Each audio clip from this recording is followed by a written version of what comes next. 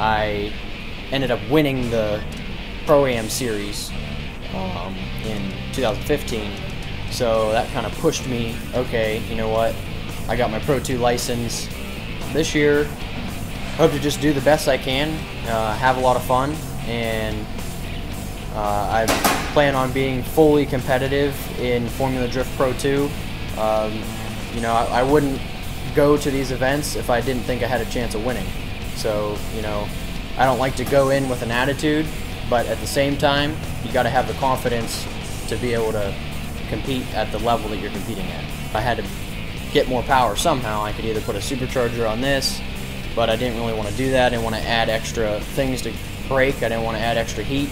So, you know, I decided I want to build an NA, you know, engine probably based off of an LS7.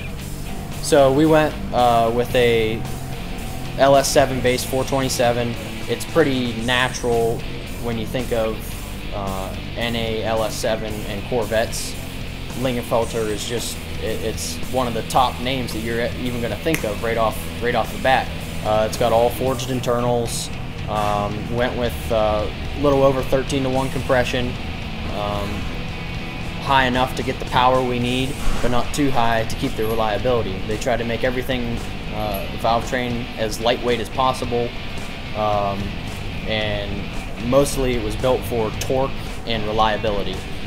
So that's uh, pretty much just going to be a good package for what we're doing with the car. The reliability and durability that I know I can trust it. You know, that I don't have to question, is this going to work or not, or is this going to be unreliable? You know, it, it, it's just, it just makes sense.